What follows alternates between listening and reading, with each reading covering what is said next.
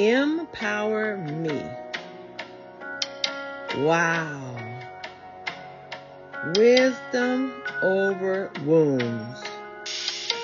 August 9. Prayer in the Father's hearing. Jesus lifted up his eyes and said, Father, I thank you that you have heard me. John 11, verse 41. When the Son of God prays, he is mindful and consciously aware of only his Father. God always hears the prayers of his Son. And if the Son of God has been formed in me, Galatians 4:19. The Father will always hear my prayers. But I must see to it that the Son of God is exhibited in my human flesh. Your body is the temple of the Holy Spirit. 1 Corinthians 6 and 19. That is your body is the Bethlehem of God's Son. Is the Son of God being given his opportunity to work in me, in you, in us? Is the direct simplicity of his life being worked out in me exactly as it was worked out in his life while here on earth, when I come into contact with the everyday occurrences of life as an ordinary human being, is the prayer of God's eternal Son to his Father being prayed in me? Jesus says, in that day you will ask in my name. John 16, verse 26. What day does he mean? He is referring to the day when the Holy Spirit has come to me and made me one with my Lord. Is the Lord Jesus Christ being a abundantly satisfied by your life? Or are you exhibiting a walk of spiritual pride before Him?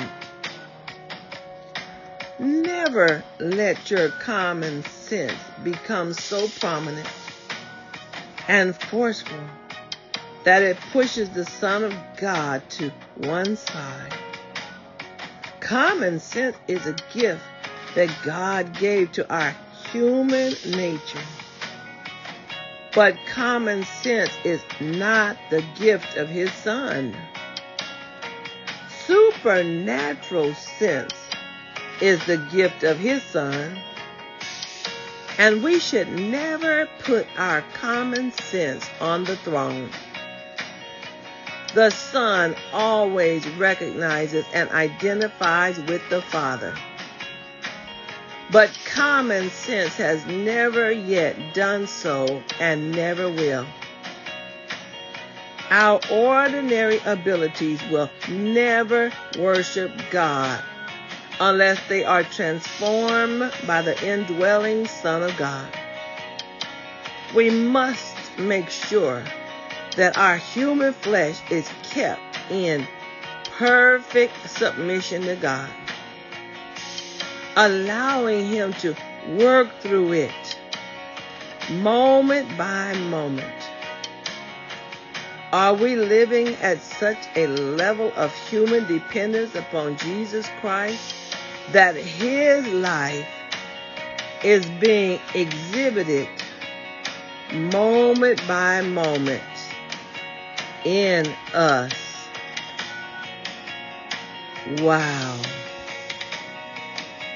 a simple word. wisdom over wounds. Prayer in the Father's hearing. John 11:41. Jesus lifted up his eyes and said, "Father, I thank you that you have heard me." Father, today I thank you that you are hearing us. I thank you today, Father, that we are beginning to know that you hear us. We're beginning to know and understand that Jesus has come to live and reside inside of us. Oh, happy day. Since Jesus Christ washed my sins away. I thank you, Lord, because I began to pray like Jesus. Father, you always hear my prayers, and I know you do. Now, what happens after that is attached to many different things. Did you pray in faith? Did you believe that you will receive them? I have a list of things I could go down and ask you. What happened after you prayed and you knew that God heard you? Father, I thank you that you're bringing wisdom to our eyes and to our minds, that we will have a better understanding of you and who you are and what you do concerning your children. You said you hear us. And Father, we believe that we receive in the name of Jesus. Father, help us to be conformed and transformed into your image. Father, help us to see that the Son, your Son, is exhibited in my human flesh. Our bodies are your temple, O oh God. And we should be operating as though we know that we are the temple of the Holy Spirit. Father, whoever's listening to me today, if they have not accepted you as their Lord and Savior, Father, we ask that you would come into their life today.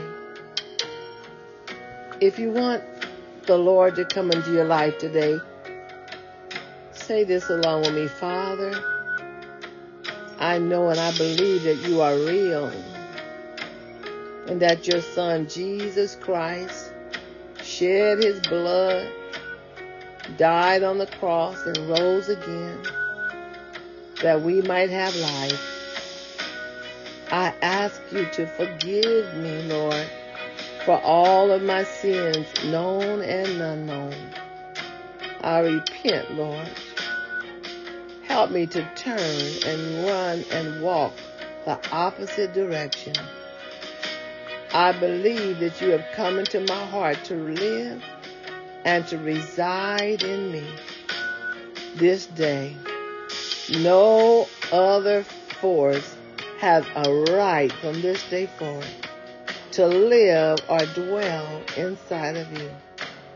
Once the Holy Spirit comes in to reside, no other spiritual being has a right to come in to dwell in your temple.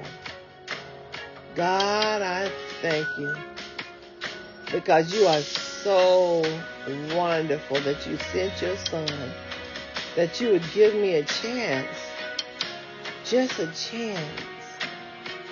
Some of us have so many things inside of our hearts, and we ask for just a chance. For whoever's listening to me today, God, is giving you a new chance, a new start. He's wiping away all of your tears, all of your brokenness, all of your sadness in the past. Lay it at the altar of the feet of the Lord. Father, I thank you. I want to give you an opportunity to work in me. This is a simple thing you said. People have made it so hard.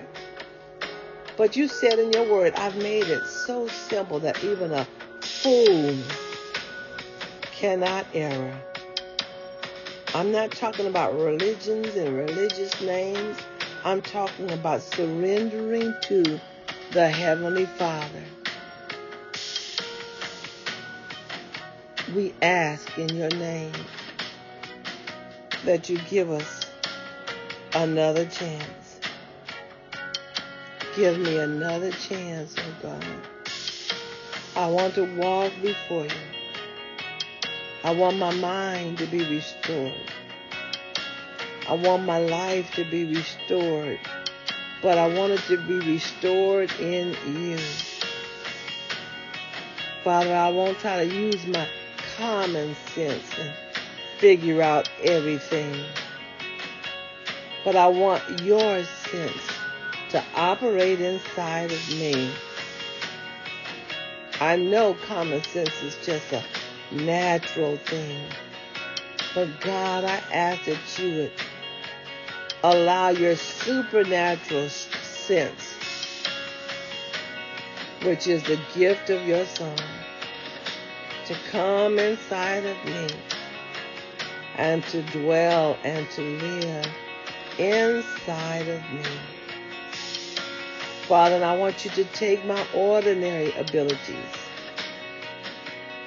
and cause them to be your supernatural abilities. Father, we surrender the flesh to you that you might lead and guide us. Show us our direction, Lord. Give us strength today. Be with us today. I'm thankful today. Are you thankful today? I'm thankful because you hear us. And I thank you that in this prayer, we know that you are listening to us. Heal up the broken heart right now. Lift up the sad head right now. Any and all thoughts of suicide, we beat that thing down. Just like these drum beats on here, we beat that thing down. The devil is a liar. He cannot have you. You belong to the Lord. Dying is not going to give you any kind of peace that you thought you would find. So many people have just died in hell they lifted up their eyes, having died without repenting. Father, I thank you for repentance today, your servants, your children. We have repented before you today. And Lord, I ask that you be with us. Give us direction. Give us the ability to get up and walk when we couldn't walk before. And I'm not talking about physical walk, I'm talking about spiritually. Walk into the power of the Lord. Right now, walk into the power of the Lord. Walk into the power of the Lord. God will walk you in there. Walk into his power. Walk into his strength so that you will no longer be bound, says the Lord. And Father, I thank you today. This was just a simple word. Wisdom over wounds. Lord, empower me The Subject today was praying in the Father's hearing. Luke 11:41. Jesus lifted up his eyes and said, Father, I thank you that you have heard me. This daily word is not to tickle your fancy, but to stir up something inside of you, to set you free, and to loose you from the bonds and the oppressed of the enemy. God, give us peace today. Thank you for always hearing our prayers. In Jesus' name. This is Sister Barbara. May the Lord be with you today.